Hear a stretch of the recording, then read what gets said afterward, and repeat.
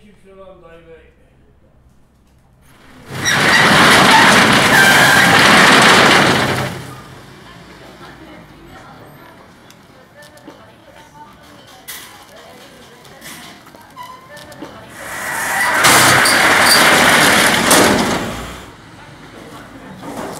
Vermedi, paslamadı.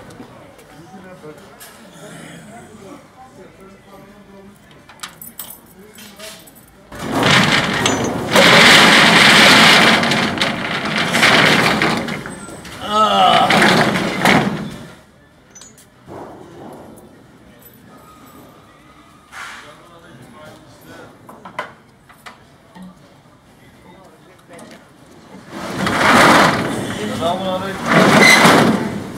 Abi hoş geldin abi.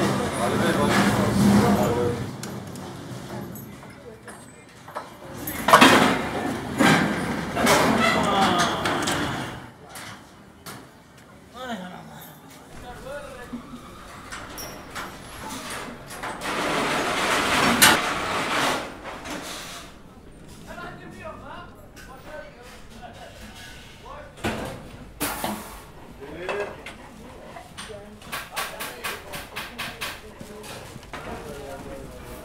Yeah, yeah, come.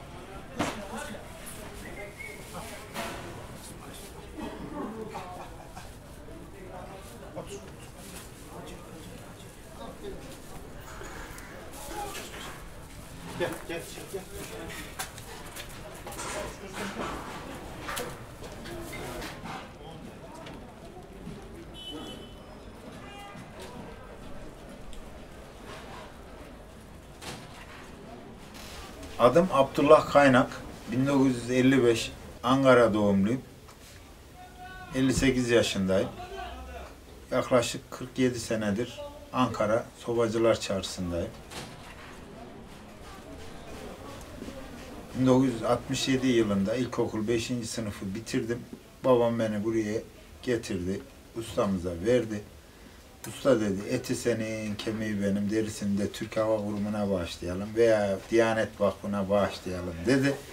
Henüz hangisine bağışlanacağı daha belli değil. 48'de geldim 1948'de. 65 senedir bu sokağın içindeyim ben. Çok güzel. Urus'un en güzel yeri. Yaklaşık 2005 yılından beri buradayım ben. Benim ablamın e, vefatı üzerine, daha önceden bu dükkanda benim ablam çalışıyordu. Dededen beri yapılıyor bu dükkan çalışıyor yani. İşte baba çalışmış, babadan sonra ablam, işte abladan sonra da ben ablamın vefatıyla birlikte ben devraldım, ben devam ediyorum şu anda. Kovacılar Çarşısı'na bundan 7 yıl önce geldim.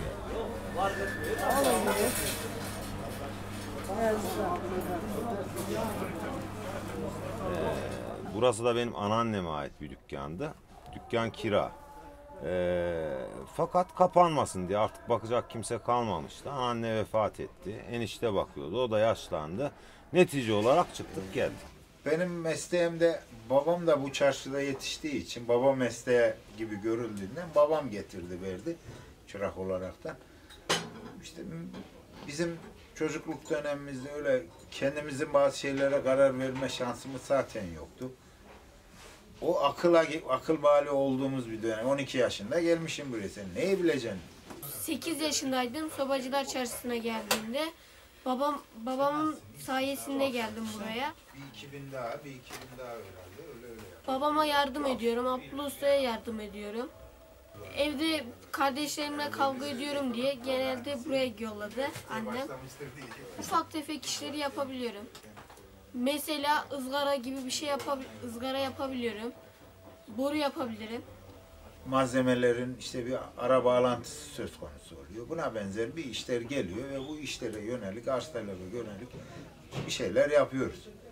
Bunun dışında işte pastacılıkla ilgili böyle kek kalıpları, pasta kalıbı işte benzeri şeyler yaptırılıyor. O işlerde Müşteri gene internetten arıyor, buluyor, resmini çıkarıyor, işte çiziyor, getiriyor. Ee, ona göre işte bir şeyler yapıyoruz. O istiyorsa bir tane, üç tane, iki tane, biz on tane yapıyoruz, buraya koyuyoruz. İşte ihtiyaç duyan müşteri de geldi.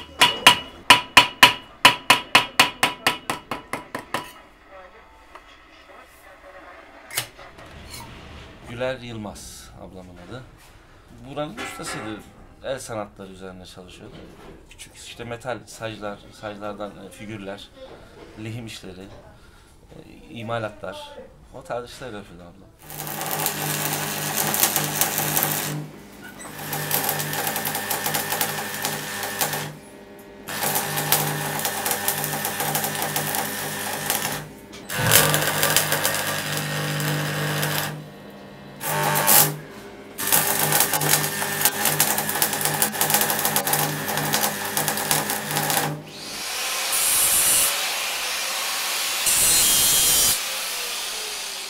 Arkadaşım var Bülent, ortağım sayılır. Onunla birlikte çalışıyoruz.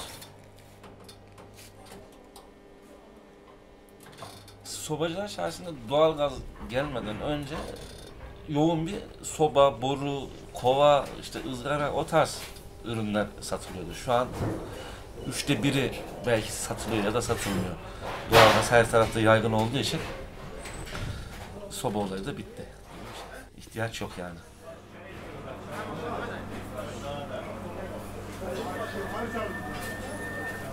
Şimdi siz bir emek verip karşılığını fazlasıyla aldığınız zaman elinizi her taşın altına sokarsınız. Ve de zevkle yaparsınız bunu. Ama bu kadar emek verip, bu kadar işte bu işin pisliğini, tozunu yutup ondan sonra da karşılığını alamazsanız doğal olarak da istemezsiniz.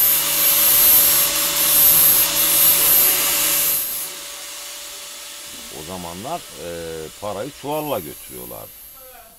Şu anda öyle bir şey yok. İşte sobacılar çarşısında doğalgaz geldikten sonra esnafın çoğu imalatı bıraktı.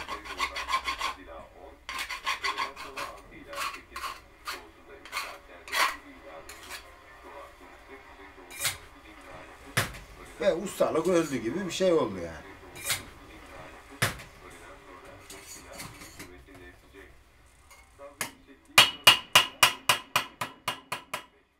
Eski işleri yok. Yok eski tat kalmadı galiba. Tadı da kalmadı, tuzu da kalmadı şimdi. Şimdi herkes marketlere gidiyorlar, marketlere. Bizim sattığımızı markette satıyor. Oturuyorum işte böyle. Müşteri olursa bakıyorum, olmazsa oturuyorum. Akşama kadar. Karnımız acıkırsa karnımızı doyuruyoruz. Ondan eve çekip gidiyoruz.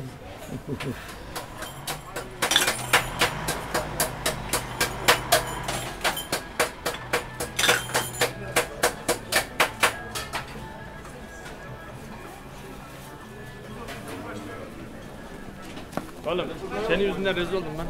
Ağzımda sigarayla çay dağıtıyorsun.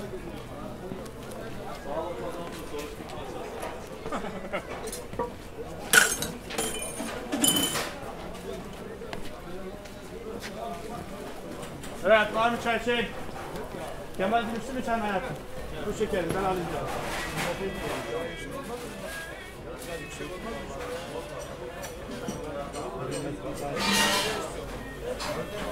vur Gracias.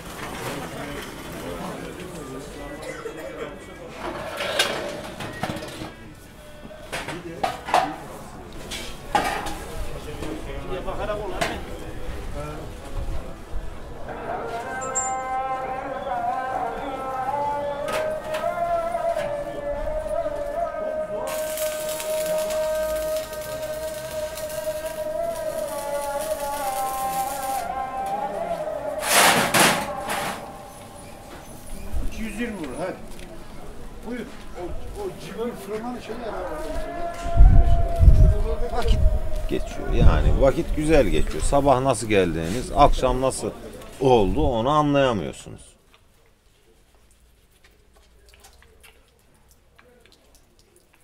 Sevmiyorum burayı. Ya hiç kimse kendi kaderini kendi yazmıyor. Eğer o kalemi alsam, kendim yazacak olsam çok farklı yazardım.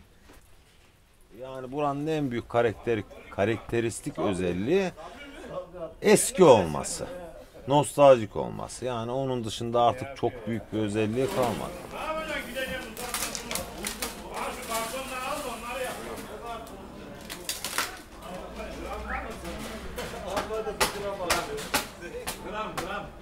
On yıl sonra, 20 yıl sonra ne olur? Yine bu düzende gider bir yere kadar. İnşallah sonunda güzel olur. All of this. All of this.